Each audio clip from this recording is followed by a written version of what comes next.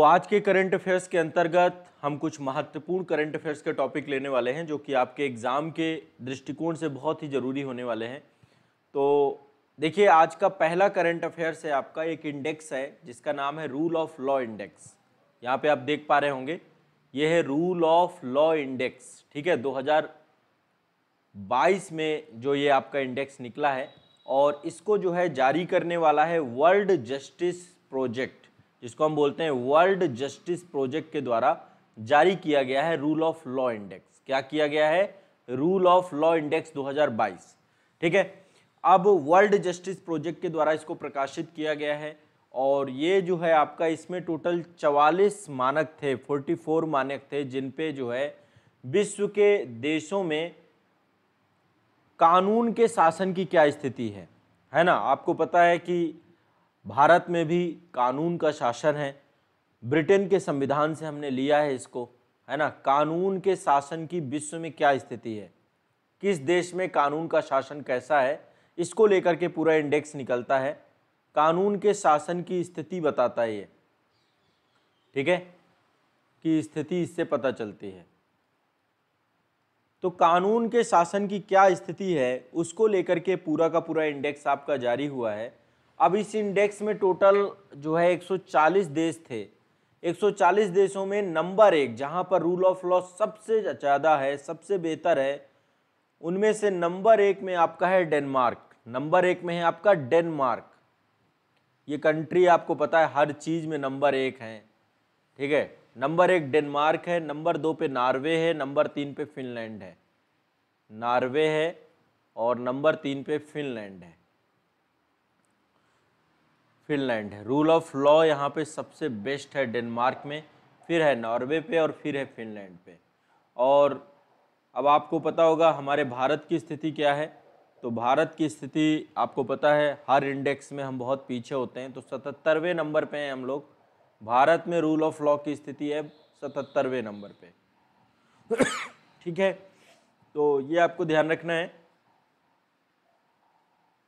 Clear है? स्पष्ट है? सभी लोग,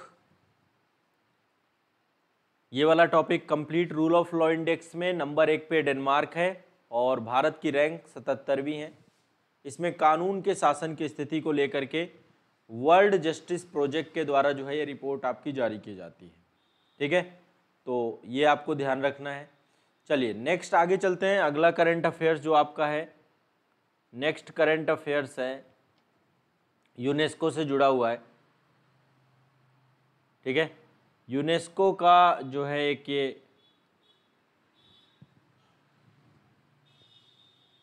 ठीक है, यूनेस्को का है ये। UNESCO global network of learning city से जुड़ा हुआ है ये।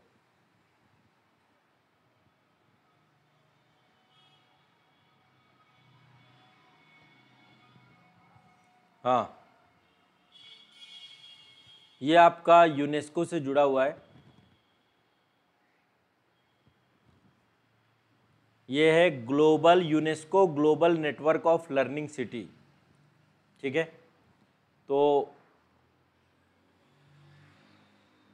2 सितंबर 2022 को UNESCO global network of learning city के अंतर्गत 44 देशों के 77 शहरों को इसके अंतर्गत रखा गया है। 77 सिटीज़ को जो है रखा गया है। टोटल 77 शहरों को रखा गया है। हाँ। वर्ल्ड जस्टिस प्रोजेक्ट इसको जारी करता था, ठीक है। तो ये अगला करंट अफेयर्स है आपका, यूनेस्को से जुड़ा हुआ है। इसमें टोटल सतहत्तर शहर थे आपके। इसमें सतहत्तर शहर लिए गए हैं, जिनमें से तीन शहर भारत के हैं। तीन शहर भारत के हैं हमारे। ठीक है, UNESCO global network of learning cities, ठीक है। अब तीन शहर जो भारत के हैं, एक बार क्रम से उन शहरों के बारे में बात करते हैं। पहला है आपका, देखिए, केरल के ही दो हैं यहाँ पर। पहला है नीलाम्बुर नीलाम्बुर ठीक है? दूसरा है आपका त्रिशूर। त्रिशूर। और तीसरा है आपका यह है वारांगल। वारांगल। ये तीन शहर हैं आपके, जो कि जो है इसमें जुड़े हैं आपके। नीलाम्बूर आपका केरल का है। केरल का है। इसके बाद त्रिशूर भी आपका केरल का है और वारंगल के बारे में शायद आप जानते हैं, ये आपका तेलंगाना से जुड़ा हुआ है। तेलंगाना। तो देखो, यूनेस्को से क्वेश्चन पूछते हैं। यूनेस्को के द्वारा वर्ल्ड हेरिटेज साइट भी आपकी घोषित की जाती हैं। तो यूनेस्को के द्वारा global network of learning cities जो आपका है, ये इसके अंतर्गत 77 शहर विश्व के 44 देशों के 77 शहरों की सूची बनाई गई है, जिनमें से तीन शहर में नीलाम्बुर त्रिशूर और वारंगल। ये तीन शहरों को जो है आपके इसके साथ जोड़ा गया है। अब देखो नीलाम्बुर जो है एक तरीके से देखा जाए तो आपका यहाँ पर सागौन के पेड़ बहुत सारे पाए जाते हैं नीलाम्बुर में। ये इसको लैंड ऑफ़ टीक कहा जाता है। नीलाम्बुर को लैंड ऑफ़ टीक भी कहा जाता है। नीलाम्बुर को नीलाम्बुर को लैंड ऑफ़ टीक भी कहा जाता है। नीलाम्बुर को लैंड ऑफ़ टीक कहा जाता है। क्या बोला जाता है? Land of teak land of teak यानी कि सागौन का स्थल। सागौन के स्थल के तौर पर भी जाना जाता है। और यह भारत के केरल राज्य में एक तरीके से पारिस्थितिकी पर्यटन के लिए इको टूरिज़्म के लिए बहुत इंपॉर्टेंट स्थल है। ठीक है? इको टूरिज़्म के लिए बहुत इंपॉर्टेंट है आपका नीलाम्बोर तो यूनेस्को के द्वारा जो है इसको शामिल किया गया है जीएनएलसी में। जीएनएलसी का मतलब है global network of learning cities के अंतर्गत। दूसरा जो आपका त्रिशूर है, त्रिशूर केरल की सांस्कृतिक राजधानी के तौर पे जानी जाती है। एक तरीके से कल्चरल सेंटर है आपका, ठीक है? और यहाँ पर जो है काफ़ी सारे आभूषण उद्योग हैं त्रिशूर में। विशेष रूप से सोने के जो आभूषण है, उसके लिए त्रिशूर को जाना जाता है। तो त्रिशूर आपका जो है केरल के सांस्कृतिक केंद्र के अंतर्गत है। आपका सांस्कृतिक कल्चरल जो है राजधानी के तौर पे त्रिशूर को हम जानते हैं। और वारंगल के बारे में जानते हैं। वारंगल ऐतिहासिक शहर रहा है आपका और ये तेलंगाना शहर, तेलंगाना का महत्वपूर्ण शहर के अंतर्गत है। ठीक है? तो ये ध्यान रखना है आपको। तीन आपके नीलाम्बुर त्रिशूर, वारंगल। ये आपके जुड़े हुए हैं क्या है? यूनेस्को के global network of learning cities के अंतर्गत भारत के इन तीन शहरों को जोड़ा गया है। आगे बढ़ते हैं। नेक्स्ट और अगला करंट अफेयर्स, मोस्ट इंपॉर्टेंट ये आपके सामने है। ये आप देख पा रहे होंगे। बहुत ही महत्वपूर्ण करंट अफेयर्स है। चलिए। अब देखिए, अगला करंट अफेयर जो आपका है ये ये आपका जुड़ा हुआ है वैश्विक लैंगिक अंतराल रिपोर्ट 2022 आ चुकी है आपकी। वैश्विक लैंगिक अंतराल रिपोर्ट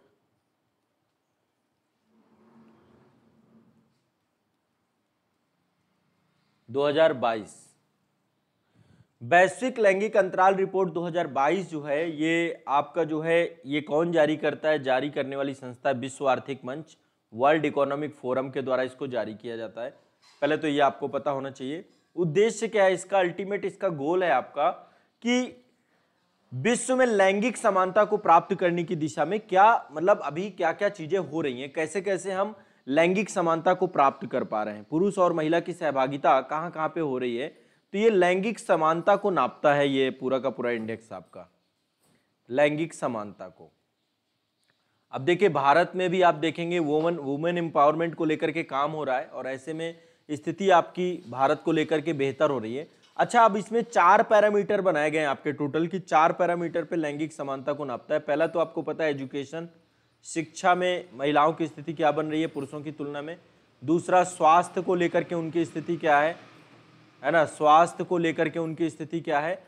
और तीसरा आपका है, आर्थिक सशक्तिकरण कितना हुआ? Economic empowerment plus political empowerment ये दोनों को ये देखता है। तो आर्थिक प्लस राजनीतिक। राजनीतिक। आर्थिक और राजनीतिक लैंगिक समानता को लेकर के भी ये काम करता है। तो ये आपका जो है वैश्विक लैंगिक अंतराल रिपोर्ट 2022 आई हुई है।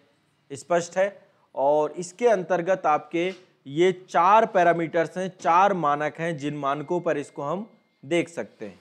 चार पैरामीटर्स, चार मानक इसके अंतर्गत हैं। वर्ल्ड इकोनॉमिक फोरम के द्वारा ये रिपोर्ट आज जारी की जाती है। अब इसके तहत बात करते हैं, ये रिपोर्ट आपकी तेरह जुलाई को आई है। तेरह जुलाई 2022 को जो जारी की गई है आपकी रिपोर्ट। अब इस रिपोर्ट के अंतर्गत पहले नंबर पे कौन कौन से देश हैं? पहले नंबर पे आपको पता है कि फिर वही नार्डिक कंट्री ही नंबर वन में आ जाती हैं। नंबर एक पे आपका आइसलैंड है। आइसलैंड है नंबर एक पर। ठीक है? नंबर दो पे फिनलैंड है आपका। Iceland, Finland. अब यहाँ पे सारी चीज़ें बेटर है। महिलाओं की स्थिति भी अच्छी होगी फिर।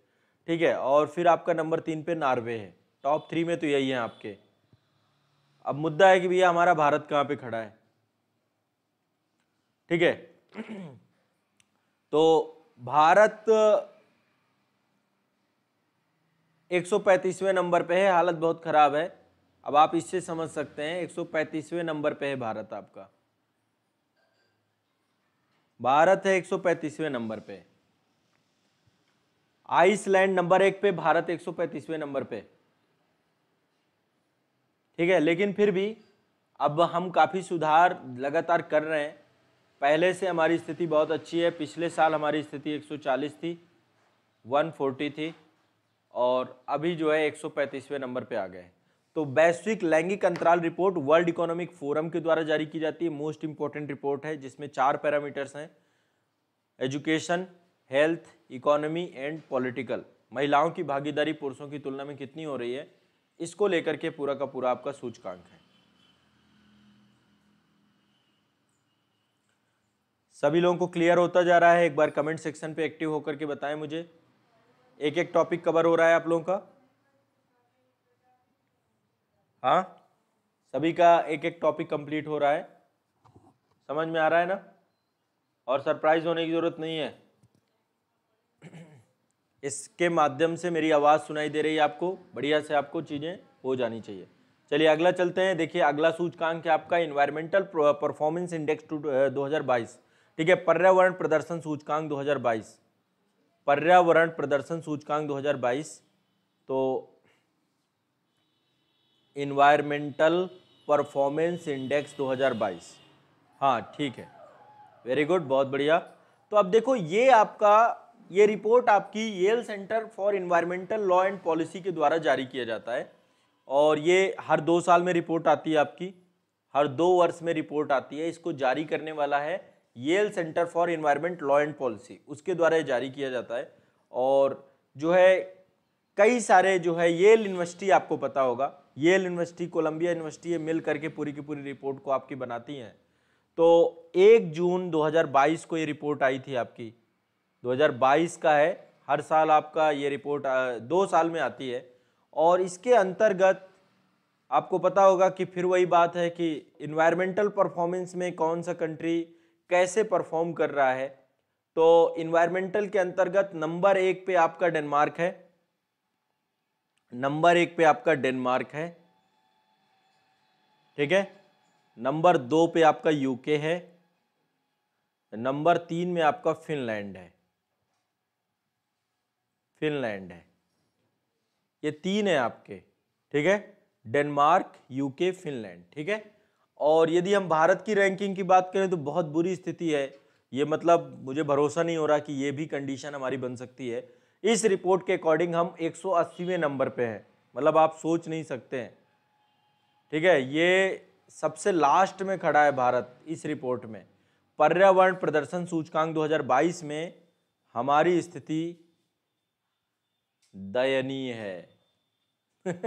सबसे लास्ट में खड़े हैं। मतलब आप सोच नहीं सकते 180 देशों में से सबसे अंत में भारत ही है। अब ये कैसे है, पता नहीं। ठीक है, पर्यावरण प्रदर्शन सूचकांक। कई सारे लगभग 11 पैरामीटर्स होते हैं इसमें और उसके आधार पे 180 देशों को लेकर के इसमें सोचा गया था। अब इसमें देखिए ओवरऑल इसका अल्टीमेट गोल क्या होता है कि जब इन्वायरमेंटल परफॉर्मेंस इंडेक्स है तो वहाँ पे इन्वायरमेंटल हेल्थ क्या है?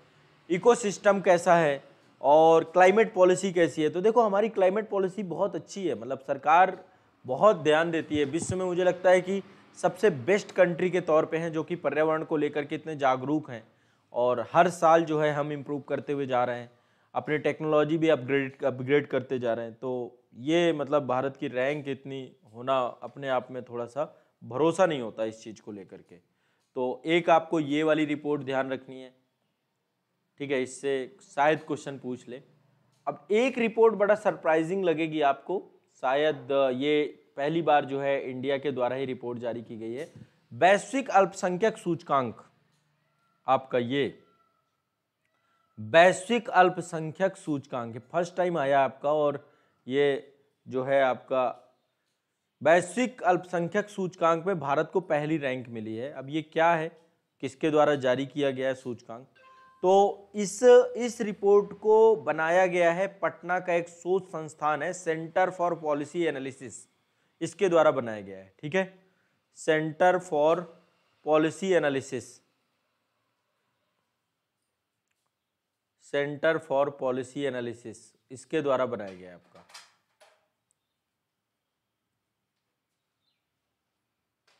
एक मिनट। हाँ। सेंटर फॉर, अब ये पहली रिपोर्ट है तो शायद इंपॉर्टेंट हो जाए, पूछ ले। Policy and, policy analysis. एक ये संस्था है जो कि पटना में है, आपकी पटना में स्टैब्लिश है। इसके द्वारा जो है आपकी ये रिपोर्ट जारी की गई है, वैश्विक अल्पसंख्यक सूचकांक 2022 ये पहला संस्करण है, पहली रिपोर्ट है आपकी। और इस रिपोर्ट के अंतर्गत जितने भी विश्व भर के देश हैं, उन सभी देशों की धार्मिक अल्पसंख्यकों के प्रति उनकी क्या दृष्टिकोण है, उनकी क्या नीति है, उनकी क्या पॉलिसी है कॉन्स्टिट्यूशन में किस तरीके के राइट दिए गए हैं, इन सभी को लेकर के ये रैंक प्रदान करता है। और इसमें टोटल 110 देशों की स्थिति को देखा गया था। 110 देशों की जो है स्थिति को देखा गया था और ऐसे में नंबर एक जो है आपको रैंक मिली है भारत को, कि विश्व में अल्पसंख्यकों के लिए सबसे बेस्ट जगह आपकी इंडिया है। दूसरे नंबर पे दक्षिण कोरिया है, दक्षिण कोरिया है, और तीसरे नंबर पे जापान है। जापान है। तो ये आपको ध्यान रखना है। 110 देशों की रिपोर्ट में भारत को सर्वाधिक जो है समावेशी देश कहा गया है कि जहाँ पे जो है अल्पसंख्यकों का विकास सबसे बेस्ट तरीके से हो सकता है। तो ये भी आपको दिमाग में बैठा के रखना है। बताएँ, कोई समस्या नहीं है ना? इजिली समझ में आ रहा है?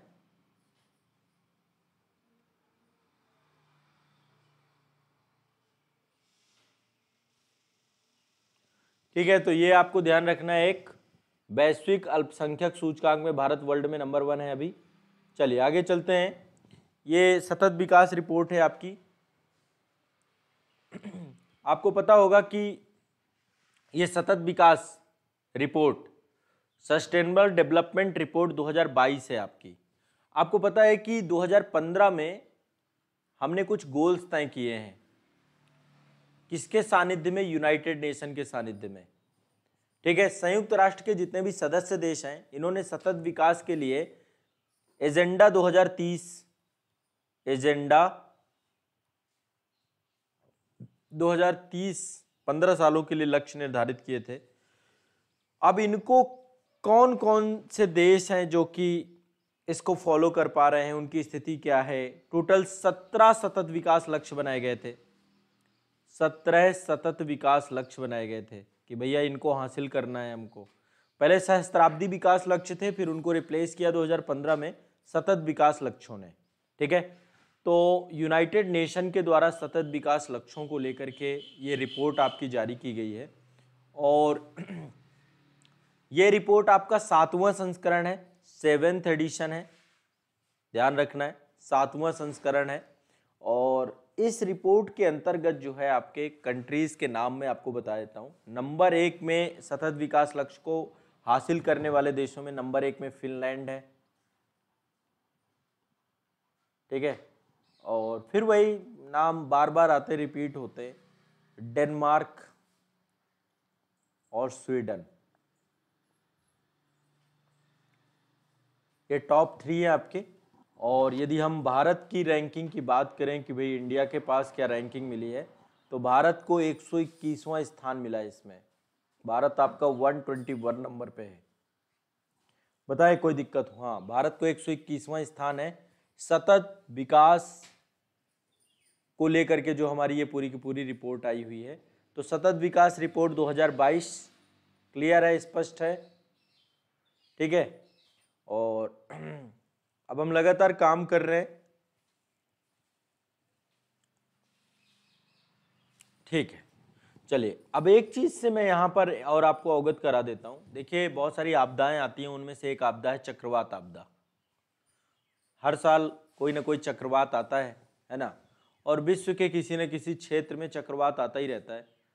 अब चक्रवात कैसे आता है, कैसे बनता है, उसको लेकर के तो मैंने एक प्रॉपर क्लास ली है। वो ज़्यादा ही इस अकेडमी में वीडियो है। यदि आपको समय मिले तो वहाँ पे जाके एक बार देखिएगा। सर्च करिएगा चक्रवात या साइक्लोन बाई रवि प्रकाश आज़ाद। तो मैंने डिटेल से बताया कि उष्णकटबंधी चक्रवात कैसे आते हैं।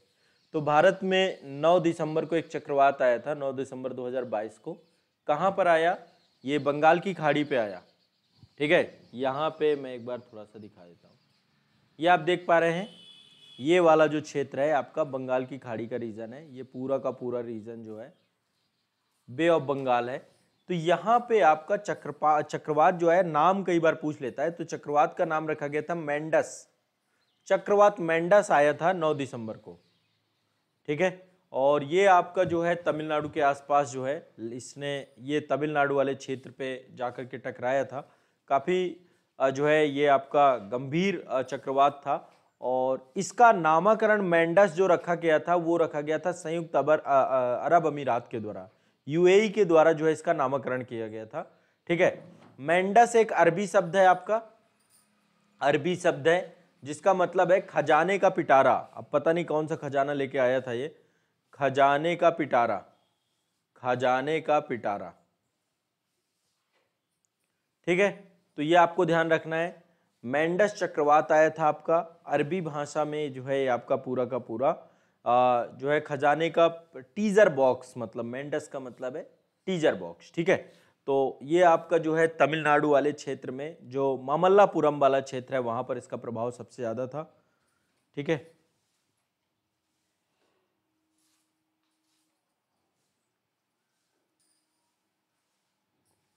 चलिए। तो अब देखो ये चक्रवात, चलो भारत में आए। भारत में एक घटना और घटी थी आपकी, मैंने पहले वैसे बता रखा, लेकिन फिर भी एक बार आपको बता देता हूँ। जनवरी 2023 में आपको पता होगा, उत्तराखंड के जोशी मठ में। जोशी मठ, क्या हुआ था यहाँ पे? यहाँ पे भूस्खलन हो गया था, ठीक है? चमोली ज़िले में आपका पड़ता है ये, उत्तराखंड में चमोली ज़िले में जगह है।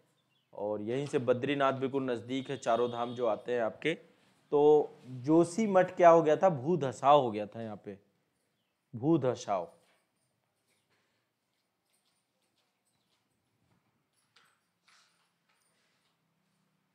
हाँ।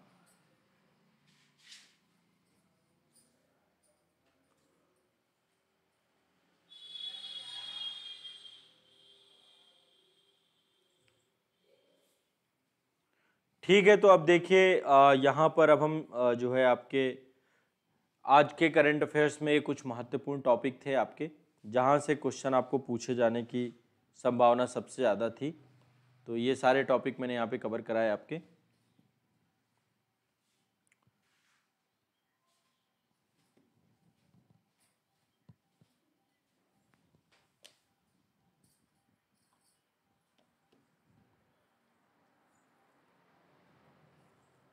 हाँ ठीक है।